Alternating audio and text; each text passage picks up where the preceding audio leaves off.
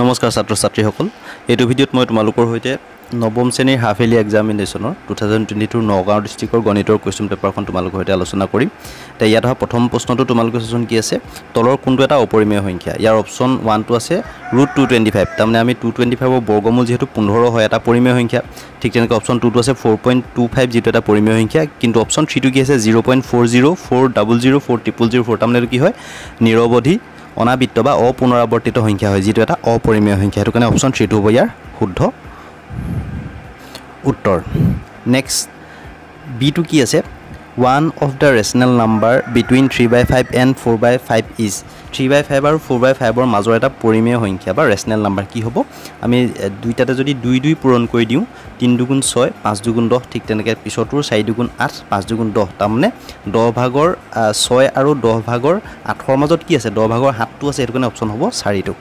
চিটো কি আছে? The value of one twenty five to the power one by three is one twenty ফাইভৰ তাৰমানে আমি কিউব ৰুটটো উলিয়াব লাগে বা ঘনমূল উলিয়াব লাগে। তেতিয়া আমি কি পাম? ওৱান টুৱেণ্টি ফাইভ যিক আমি যিহেতু ফাইভ কিউব হিচাপে লিখিব পাৰিম তাৰমানে ফাইভ পূৰণ ফাইভ পূৰণ ফাইভ কৰিলে আমি ওৱান টুৱেণ্টি ফাইভ পাম কিউবটোৰ লগত থ্ৰীটো কেঞ্চেল হৈ যাব তেতিয়া তাৰ আনচাৰটো হ'বগৈ অকল ফাইভ ডিটো কি আছে?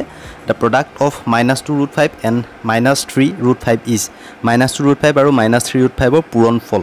মাইনাছ টু আৰু মাইনাছ থ্ৰী পূৰণ কৰিলে আমি পাম মাইন ছেভেন প্লাছ তিনি দুগুণ ছয় হ'বগৈ গৈ।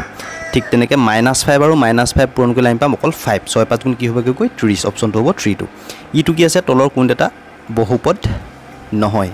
ইয়াত অপশ্যন থ্ৰীটো হ'ব ৱাই প্লাছ ৱাই টু বা মাইনাছ ওৱান যিহেতু বহুপদ হ'বলৈ হ'লে প্ৰত্যেকটো চলকৰ সূচকবিলাক অবিয়োগাত্মক অখণ্ড সংখ্যা হ'ব লাগিব। যিহেতু ৱাইটোৰ ওপৰত পাৱাৰটো মাইনাছ ওৱান আছে সেইটো কাৰণে এইটো এটা বহুপদ নহয়। নেক্সট আমি এইটো কেই নম্বৰ কৈছিলোঁ ইটো ন? তাৰপিছত এফটো কি আছে? যদি এক্স প্লাছ এ এফ এক্সৰ এটা উৎপাদক তেন্তে কোনটো উক্তি সত্য?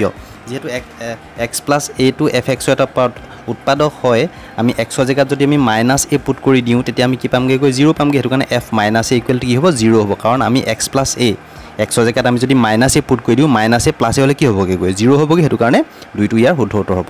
যিটো কি আছে if a comma b is equals to b comma a then তলৰ কোনটো শুদ্ধ হ'ব?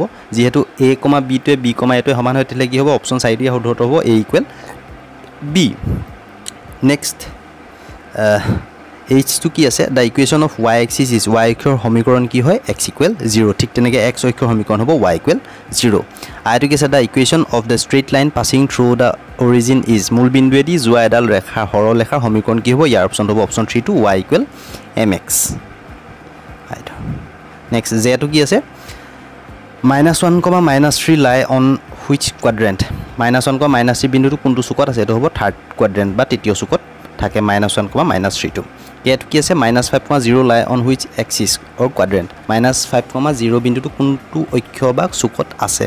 মাইনাছ ফাইভ কমা জিৰ' যিহেতু ৱাই স্থানাংকটো জিৰ' হয় বিন্দুটো ক'ত থাকিব? এক্স অক্ষতে থাকিব। অপশ্যন চাৰিটো হ'ব ইয়াৰ শুদ্ধ উত্তৰ। এলটো কি আছে? The coordinates of the point on the x axis are of the form x অক্ষৰ ওপৰত থকা কোনো বিন্দুৰ স্থানাংকৰ আৰ্হিটো কি হ'ব? এক্স কমা জিৰ' হ'ব। ঠিক তেনেকৈ ৱাই অক্ষৰ ওপৰত থকা বিন্দু এটাৰ স্থানাংকৰ আৰ্হি কি হ'ব? ৱাই জিৰ' কমা ৱাই এমটো কি আছে? If the abscissa of a point is x and the ordinate is y then the coordinates of the point is যদি এটা বিন্দুৰ ভোজ এক্স আৰু কুটি ৱাই তেন্তে বিন্দুটোৰ স্থানাংক কি হ'ব? এক্স কমা ৱাই অপশ্যন হ'ব থ্ৰীটো এনটো কি আছে? The sum of the angles of a right angle triangle is এটা সমকোণী ত্ৰিভুজৰ কোণবোৰৰ সমষ্টি? সদায় সমকোণী হওক বা সম সূক্ষ্মকোণী হওক স্থূলকোণী হওক চবৰে কি হ'ব মানে ত্ৰিভুজ হোৱাৰ লগে লগে তাৰ অন্তকোণ সমষ্টি সদায় এশ আশী ডিগ্ৰী হয় অপশ্যন হ'ব দুইটো। নেক্সট অ'টো কি আছে? For a reflex angle t which is true প্ৰত্যাৱৰ্তী কোণ টিৰ বাবে কোনটো সত্য এইটো হ'ব option one two one eighty ডিগ্ৰীতকৈ ডাঙৰ আৰু থ্ৰী ছিক্সটি ডিগ্ৰীতকৈ সৰু হ'ব। পিটো কি আছে? Each angle of an equilateral triangle is of এটা সমবাহু ত্ৰিভুজৰ প্ৰতিটো কোণৰ মাপ কিমান ডিগ্ৰী হয়? ষাঠি ডিগ্ৰী। হয় অপশ্যন হ'ব থ্ৰীটো কিউটো কি আছে? Measure of each equal angles of a right angle isosceles triangle is সমকোণী সমদ্বিবাহু ত্ৰিভুজৰ সমান কোণ দুটাৰ প্ৰতিটোৰ মাপ কি হ'ব? যিহেতু সমকোণী সমদ্বিবাহু হয় এটা কোণ সমকোণ হ'লেই। তেতিয়াহ'লে বাকীকেইটা কোণটো সমকোণ হ'ব নোৱাৰে তাতকৈ সৰুৱে হ'ব লাগিব কাৰণ দুটা যদি সমকোণ হৈ যায় কি হ'ব? এশ আশী ডিগ্ৰী দুটা কোণতে হৈ যাব সেইটো কাৰণে এটা কোণ সমকোণ হ'লে বাকী দুইটা কোণ সূক্ষ্মকোণে হ'ব লাগিব। আৰু দুইটা যদি সমান হ'ব লাগে কোনকেইটা তেতিয়াহ'লে পঞ্চল্লিছ ডিগ্ৰী পঞ্চল্লিছ ডিগ্ৰী হ'ব। তেতিয়াহে পঞ্চল্লিছ পঞ্চল্লিছ আৰু নব্বৈ যোগ কৰিলে আমি এশ আশী ডিগ্ৰী পামগৈ গৈ। অপশ্যন হ'ব দুইটো আৰটো কি আছে? চতুৰ্ভুজৰ কোনকেইটাৰ সমষ্টি? সেইটো হ'ব অপশ্যন দুইটো তিনিশ ষাঠি ডিগ্ৰী তোমালোকে সকলোৱে জানাই।